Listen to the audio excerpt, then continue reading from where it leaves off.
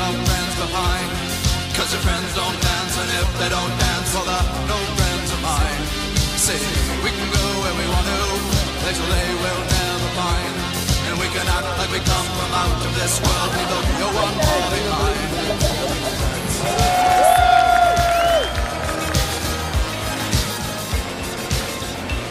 I first saw it on TV on ESPN and heard it was the craziest race in the world, and I came here to do it.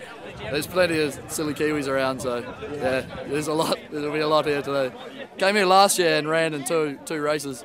Yeah, was stupid enough to come back. Any injuries?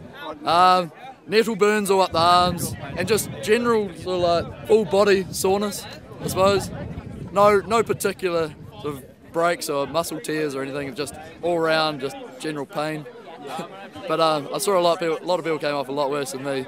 I saw like dislocated shoulders, broken legs, a lot of gone ankles. There's no guessing where you come from, is there? That's right, it should be pretty obvious. I came uh, from Colorado Springs, Colorado, United States of America, over uh, 3,000 miles, and I just came exactly for this race. Really? And um, it's uh, always something I wanted to do on my bucket list, and this year I'm going to be checking it off, and I plan on winning.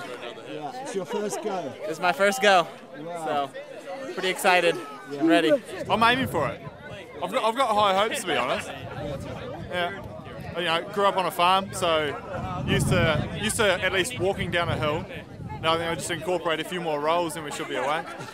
Well, best of luck. And, Thank you. And no injuries. I hope so. We're all just crazy. We can go if we want to. Time is young and so am I. And we can dress real neat from our hearts to our feet and surprise them with a victory cry.